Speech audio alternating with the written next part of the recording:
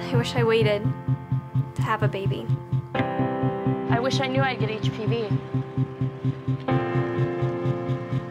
I wish I wasn't drunk. I didn't even know it. I wish I knew he'd leave me, but I can't take it back now. I just wish I waited. It's better to wait than wish you hadn't.